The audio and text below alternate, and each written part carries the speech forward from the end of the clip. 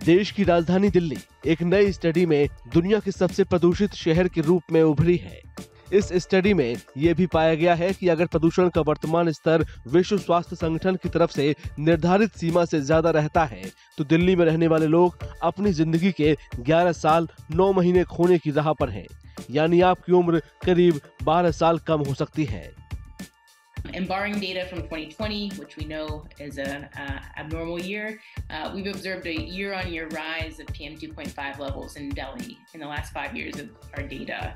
Um, and from our estimates, air pollution is taking upwards of 5.3 years of life expectancy from the average person in India if these current levels are sustained.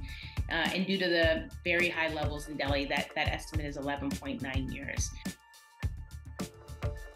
Chicago university में energy policy institute की तरफ़ से जारी ए यानी air quality life index से ये भी पता चला है कि भारत में रहने वाले 130 करोड़ लोग उन क्षेत्रों में रहते हैं जहाँ सालाना औसत पार्टिकुलेट प्रदूषण का स्तर डब्ल्यूएचओ की तरफ़ से निर्धारित पाँच माइक्रोग्राम प्रति घन मीटर की सीमा से ज़्यादा है।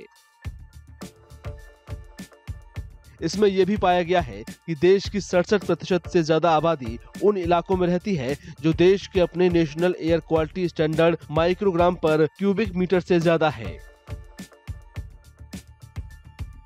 1998 to 2021, India's annual average particulate pollution has increased by nearly 68%, and currently it stands as the world's second most polluted country behind Bangladesh.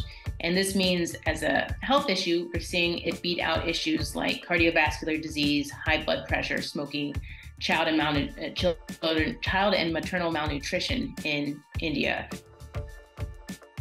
2019 में भारत ने प्रदूषण के खिलाफ युद्ध की घोषणा की और अपना राष्ट्रीय स्वच्छ वायु कार्यक्रम यानी एनसीएपी लॉन्च किया जो पार्टिकुलेट प्रदूषण को कम करने का संकेत देता है हालाँकि ज़मीन पर इसका असर अब तक नहीं देखा गया है एनसीएपी का मकसद 2017 की तुलना में पार्टिकुलेट प्रदूषण को 2024 तक 20 से 30 प्रतिशत तक कम करना है। साथ ही 102 शहरों पर फोकस किया गया है जो भारत के राष्ट्रीय वार्षिक औसत पीएम 2.5 स्टैंडर्ड को पूरा नहीं कर रहे थे। इन शहरों को नॉन अटेनमेंट सिटी कहा गया है।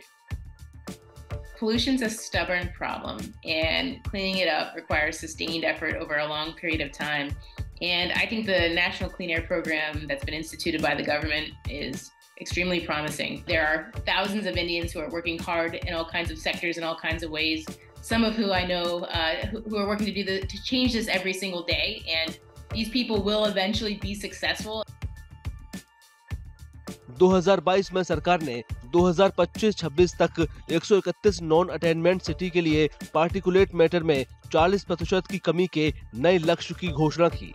स्टडी में कहा गया है कि अगर संशोधित लक्ष्य पूरा हो जाता है तो इससे इन टारगेटेड 131 शहरों में रहने वाले औसत नागरिक की जीवन प्रत्याशा में 2.1 वर्ष की वृद्धि होगी। और देश में एक औसत भारतीय की जीवन प्रत्याशा 7.9 महीने बढ़ जाएगी। रिपोर्ट में कहा गया है कि इन 131 टारगेटेड शहरों में से 38 भारत के उत्तरी मैदानी इलाकों से संबंधित हैं।